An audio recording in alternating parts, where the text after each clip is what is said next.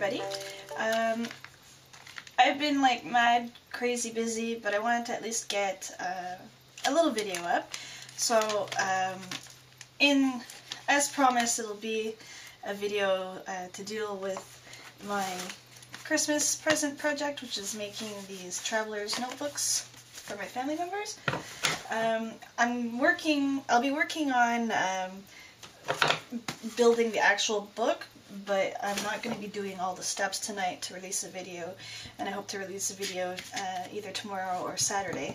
Um, so I'll, I'll just do a quickie on making these little um, inserts, um, which I did like the first prototype here in mine, uh, and I'm not super happy with how it turned out.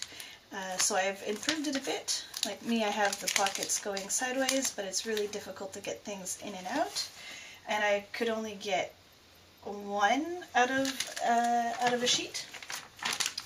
So um, I decided to do them uh, the other way, and per uh, and what I'm I guess I'm getting ahead of myself. What I'm using is uh, just a sheet um, for like baseball cards, and I got a pack of them like of eight sheets I think for a dollar at the dollar store.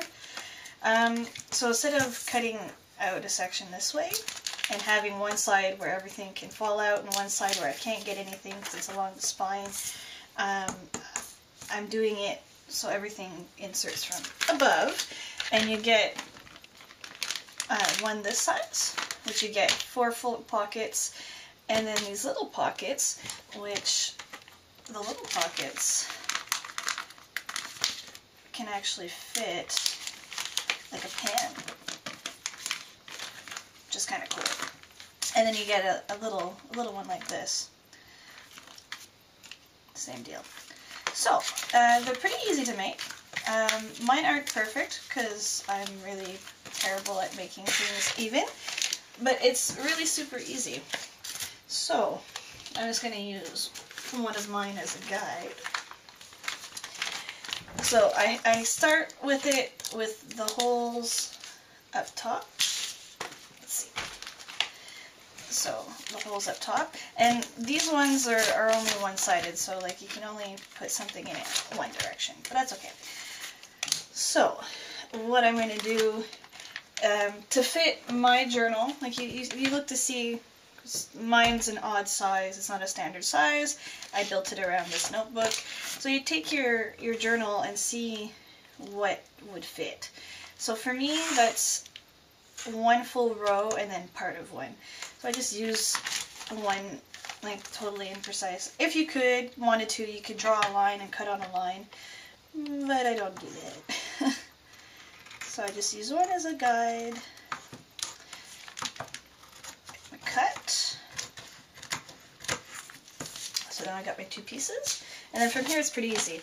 Um, you want to cut off the binder holes, but you want to make sure that you're on the outside of the kind of perforation that's holding everything together. So like that. So that's one. And then the other one, this is a mess now. You want to cut off this little strip that's extra. You cut that off.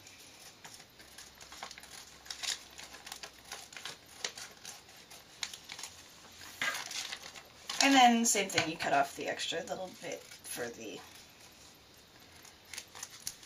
binder holes.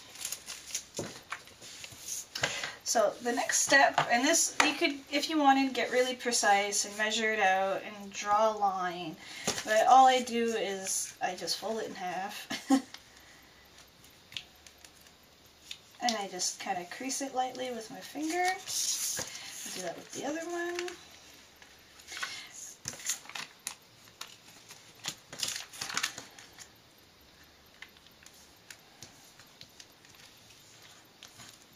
open them back up so I have a line.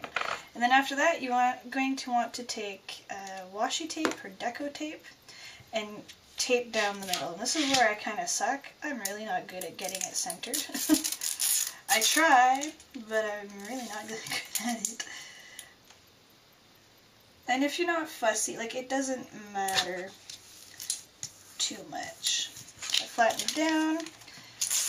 Yeah, I'm off a lot. Good thing about this is it peels off really easily. Then you start, start again.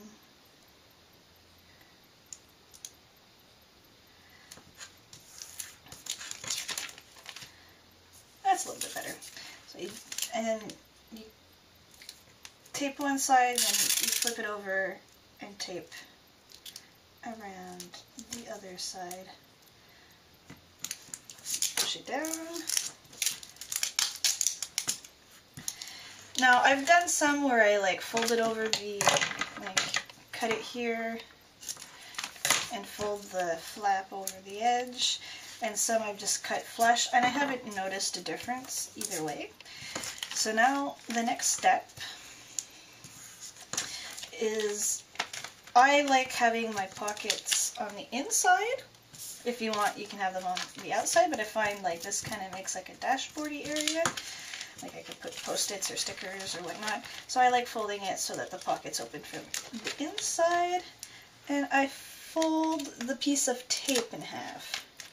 So if I didn't get it straight, um, like these ends might not line up, which doesn't really matter because there's going to be stuff inside, so you're not going to see the ends matching up.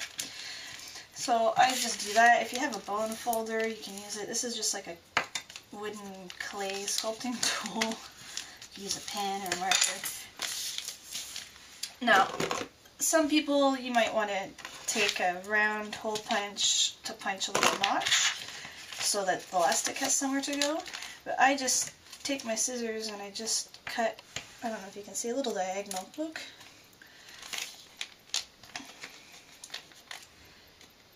Like that. So that there's a little notch for the elastic to rest without, you know, kind of crumpling it up. And there's the big one. And then for the little one, you just repeat the whole process again. So washi tape, or in my case, deco tape. I don't think, I actually I have one or two actual real washis. So the tape is just there to reinforce the spine to keep more or less the elastic band from keep the elastic band from uh, wreaking havoc on this plastic.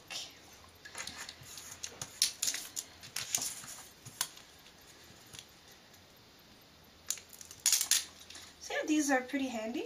Um, they fit business cards really well. Um, I like putting, I'm sure you've seen, or I have another little video about them, but I really like wrapping washi tape on business cards or old playing cards. Um, so these fit in here like super well. You can store photographs, business cards, all kinds of good stuff. So this one I'm just going to cut evenly. Get that out. So fold the tape in half.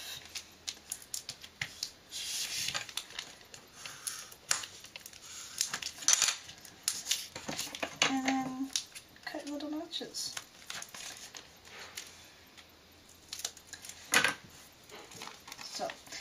You could put pens or little tiny things or little strips of decorative paper that you want to glue into your journal. But yeah, so like no time at all with one playing card protector sheet for a binder. You get yourself two little inserts. So I hope you liked the tutorial. Um, I'll have to see how they hold up. I haven't like really put them to the test. I've only had it in my journal for, I don't know, maybe two or three days. And yeah, I don't like the other way that I did it. It's not very effective. So yeah, so one sheet, two little inserts, whether you want a small one or a large one, or you have like a travel size or a pocket size, you know. So thanks for watching. If you like, please thumbs up, comment, and subscribe, and I'll see you guys next time. Bye!